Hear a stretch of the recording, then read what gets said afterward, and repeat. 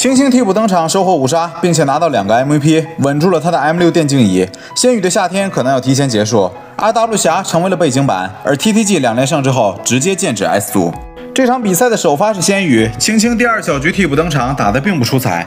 本来以为 TTG 要走远了，可是第三局他直接用狂铁拿了个五杀。团是 RW 侠先开的，而且 TTG 先倒了两个人。右下角可以看到 Fly 的粉丝已经振臂高呼在庆祝了，但此时青青站了出来，二闪进场瞬间爆炸，一技能又收掉 RW 侠射辅，追杀甄姬之后再回头找露娜。主角登场，五杀到手，又是一锤，再拿一个头，五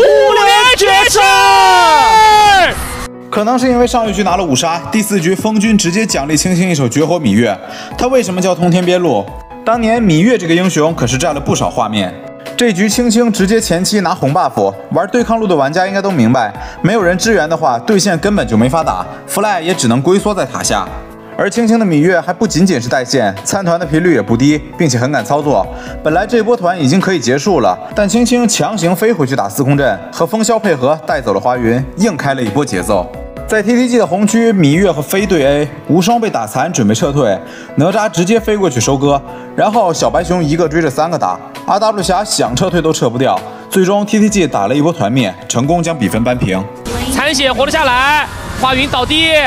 不知火舞再继续追击，阿哪吒再飞一下，但是他有个血包，陈峰能被烫死吗？烫死了，还是继续追一个狂铁，有能量就火。要决胜局，青青又选出了马超。本来 RW 侠有优势，但 Fly 这一局的失误真的很多。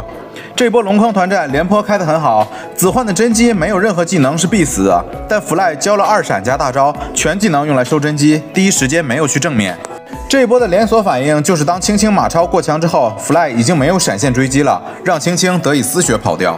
双方二换二之后，张飞第一时间并没有大招，但 RW 侠此时完全没有看暴君的意思，他们的选择是反红，只留下一个沈梦溪看视野，也直接导致了暴君被 TTG 白白拿掉。说实话，这把 Fly 的团战挺好发挥的，这把夏洛特其实是有是一个隐患，就 TTG 这边没有没有那么好处理夏洛特。言出法随，Fly 出现在 TTG 的红区，处于脱节的位置。翻翻一吼，极限距离控住 Fly，让 RW 侠其他人也没办法接应。Fly 又出现了一波掉点。我刚说这把 TTG 很难处理这个夏洛特，他直接一个人冲到那里面去，直接送了。我的天！而最后一波也是 Fly 和花云带线被 TTG 反包，一波零换二之后，TTG 直接就让二追三了。Fly 成为了青青的背景板，确实打得有点难受。TTG 的两连胜也让他们冲击 S 组的希望大增，青青的回归非常关键。以这样的方式回到赛场，这电竞已是坐稳了，属于他的夏天也正式开始了。